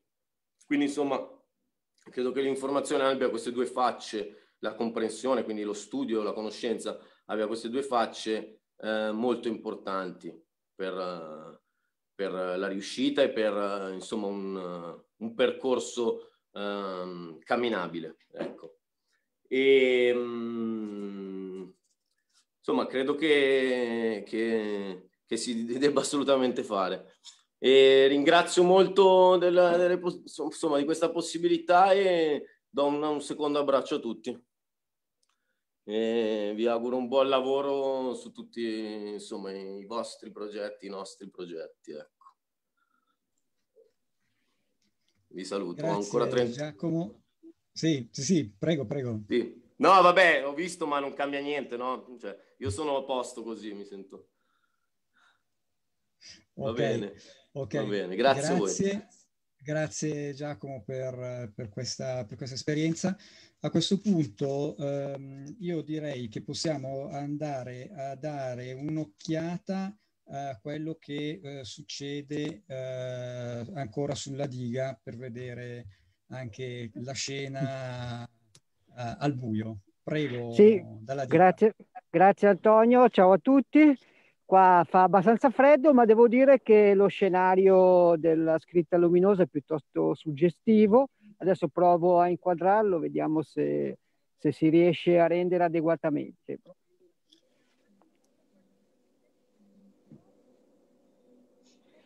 Si vede? Ho sentito abbastanza. Si vede? Sì, Bravissimi. benissimo, si vede, si vede benissimo. Si vede bene anche direi da parte delle persone che passeggiano qui o che corrono, che si fermano incuriosite a guardare e speriamo che si ricordino eh, la società della cura, che sperando che nei prossimi giorni assurga gli onori della vita politica nazionale. Eh, speriamo, speriamo davvero. Allora, a questo punto per concludere, eh, ho visto che mh, è entrato anche Massimo ehm, eh, Marco Schiaffino eh, di Milano, eh, in modo tale che eh, concludiamo, eh, dopo aver sentito la piazza di Roma, sentire quello che è accaduto a Milano per concludere questa nostra iniziativa. Prego, prego Marco. Eh, ciao a tutte e tutti, intanto grazie per l'invito. Io eh, sto, sto rimbalzando mm, digitalmente fra varie piazze, nel senso che eh, stavo a Milano, poi sono entrato in quella di Roma, adesso so- sono lì a Como, eh, però è fantastica sta cosa, siamo un po' il teletrasporto di Star Trek. Allora, eh, a Milano noi abbiamo deciso di fare un'iniziativa eh, solo online perché, eh, vabbè, immagino che voi mi capiate meglio che a Roma perché l'ho dovuta spiegare. Ehm, si, si sente un po' più pesantemente qui il lockdown, nel senso che noi siamo in una zona rosso scuro ehm, e eh, nel ragionamento collettivo all'interno della società della cura si è detto è inutile andare a fare un presidio sul territorio in una città che è vuota, perché Milano il paradosso è che ehm, gli unici elementi di vita para- cioè sono nei quartieri. Se io scendo nel mio quartiere c'è vita, però io sto ad Ergano, cioè zona Bovisa per capirci. Di solito quando si fa un presidio lo si fa in Piazza della Scala, in Piazza Duomo, ecco lì è il deserto. Quindi abbiamo detto no, favoriamo la partecipazione e eh, organizziamo una cosa online. Devo dire che come numeri è andata bene perché eh, più o meno sono stato un centinaio di persone che hanno girato dentro l'assemblea di Zoom, eh, altrettanto più o meno sulle dirette Facebook. Noi abbiamo fatto una diretta Facebook su 13 pagine contemporaneamente, non, non vi dico l'organizzazione dietro che c'è stata, anche perché l'abbiamo fatta in tre giorni, quindi non, non è stato facilissimo. E eh, io vorrei condividere bene o male questa sensazione terribilmente positiva che si ha nel sentire parlare le persone. Noi oggi abbiamo avuto quattro interventi all'Assemblea di Milano, c'è stato Vittorio Agnoletto che ha parlato di sanità, eh, c'è stato Andrea Fumagalli che è eh, professore universitario all'Università di Pavia sul tema reddito e lavoro, ma devo dire che quello che mi ha colpito è stato l'intervento di Maddalena, che è di priorità alla scuola, perché eh, fra l'altro, se avete l'occasione, andatevelo a guardare perché eh, sulla pagina di Attac Milano, ma anche sulla pagina di Medicina Democratica, dell'Unione degli Studenti, insomma, tutte quelle che hanno fatto lo streaming, sono tante, ehm, trovate la registrazione. Credo che lei abbia fatto un intervento nel quale ha unito i puntini, cioè eh, ha dato proprio l'idea di che cosa sia il percorso di convergenza della società della cura, perché ha messo insieme tutto, cioè ha fatto capire come ci sia eh, un livello di intersezionalità nelle vertenze, nella richiesta di una società diversa che ci obbliga a allargare gli orizzonti eh, mentali, di relazione, politici, qualsiasi cosa, abbandonare un po' quella roba del sì, ma il mio è la priorità e capire che ehm, siamo interdipendenti. Ecco, eh, l'intervento di Maddalena io devo dire che è stato strepitoso da quel punto di vista. Infatti in chat sono son, son partiti una serie di complimenti che non finivano più. C'era la mia compagna qua dietro che continuava a scrivere eh, di tutto, anche perché ormai siamo abituati a questa dimensione digitale. Eh, ho, ho, visto che voi siete riusciti a fare qualcosa che somiglia a una presenza in piazza e complimenti perché qua non ce l'abbiamo fatta, ma anche perché siamo, siamo a un livello di esaurimento, secondo me, in, in questo periodo che tutti quanti condividiamo. E che dire, andiamo avanti. Io spero che questo processo di convergenza acquisti gambe e prosegua. Io ci butterò, eh, noi ci butteremo le energie che restano come, come attacco, come realtà che ci sono. In realtà a Milano ci sono, come potete immaginare, tanti percorsi convergenti su questa cosa. Eh, il 4 di novembre abbiamo fatto un presidio in Piazza della Scala con eh, molti centri sociali, ZAM, Lambretta, Macao, Remake, eh, Fornace dirò, insomma, eh, l'universo mondo, eh, tutte cose che secondo me si incontrano, perché poi il territorio è il territorio, e Como non è molto diversa, io fino a due anni fa vivevo a Saronno, quindi mh, mm, un, po', un po' e mezzo. Eh, credo che sia partito qualcosa di bello. Andiamo avanti. Eh, un abbraccio a tutte e tutti e torno a Milano che devo vedere che, che diavolo succede perché oggi rimbalzo come una penna ping pong. Ciao. Grazie, grazie, eh, grazie Marco. Eh, allora, eh, a questo punto abbiamo diciamo, concluso la, mh, mm, eh, l'iniziativa, darei ancora la parola a Nicoletta per uh, fare un, uh, così, delle, mh, mm, una, una, parte finale per salutare un po', un po tutti e, e dare alla, alle prossime iniziative che, che verranno fatte. Prego. Sì, sì, grazie Antonio. Io credo che eh, anche a Como abbiamo dato vita ad un'iniziativa che ha dato il senso della convergenza perché eh, abbiamo, abbiamo, interloquito con, eh, con differenti eh, persone, uomini e donne che sul territorio agiscono già effettivamente delle pratiche di solidarietà e di, e, e di cura. Abbiamo illustrato il percorso di questo, per, di, di questo percorso di convergenza e eh, anche il, i, contenuti del manifesto e del, del, volantone che è un po' il nostro recovery plan, mi fa piacere aver sentito eh, che a, sia a Roma che a Milano le cose sono andate bene. Fra l'altro è stata una scommessa perché quando siamo partiti eh, dentro il lockdown nei mesi di, di marzo e, e, di aprile, Antonio ne sa qualcosa perché eravamo, eravamo insieme a, a, a iniziare questa esperienza, certamente non immaginavamo che nel giro di qualche mese e dentro una pandemia ben 700 eh, organizzazioni sarebbero convergiute, se posso usare un termine un pochettino eh, osé, eh, in questo percorso, ecco, mi pare di poter dire che davvero qualcosa di importante si sta muovendo e si sta muovendo forse nella direzione giusta lontano da qualsiasi scadenza elettorale, quindi senza l'assillo di dover mettere in campo qualcosa che abbia quella dimensione lì, benché sia importante anche quella dimensione, ma soprattutto capace di scaldare il cuore di eh, organizzazioni, uomini e donne diverse che provano per una volta a, um, a mettersi insieme per ragionare e per produrre pratiche concrete. Ecco, io credo che partire così è un bel partire. Eh, ovviamente niente è scontato, dovremo costruirla tutta con la pazienza anche che presuppone un, un percorso del genere, perché eh, chiede anche pazienza eh, per aspettare i tempi di ciascuno e di ciascuna, per rispettare le differenze che pure ci attraversano, ma io credo che abbiamo fatto qualcosa di importante. E, e, e credo che partire così è partire bene e quindi il percorso di convergenza continua, la società della cura è in cammino e la cura soprattutto siamo noi, uomini e donne che non si rassegnano a tornare alla normalità di prima perché la normalità era il problema. Quindi, come dice Monica Di Sisto, una delle, delle persone che ha coordinato il percorso nazionale, Daie, siamo in, in, in, in, cammino e camminiamo. Se permettete, e credo anche a nome di tutte e di tutti, voglio ringraziare Anto, Antonio Muscolino per la parte tecnica perché davvero è stata una, una parte complicata e lui come al solito l'ha svolta in maniera egregia. E poi tutti quelli che sono intervenuti e che hanno voluto condividere con noi questa esperienza. Grazie e alla prossima. Ciao ciao, grazie.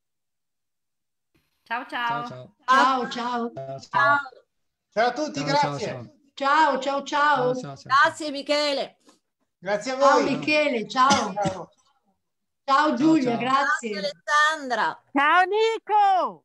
Ciao, ciao Ciao Patrizia. Celeste, ciao ciao ciao ciao, a tutti, Ciao. ciao Nicola. Ciao Shivon, bravissima. Ciao. Ciao, Ciao a tutti, ciao ciao. Ciao, ciao Giacomo, Ciao. grazie. Ciao, Ciao Maria Teresa, voi. ciao Luigino. Vado a fare Ciao la doccia, ciao. ciao. Dai, Dai, dai. Ciao. Tutta Ciao. Dai, dai. Ciao Alessandra. Ciao.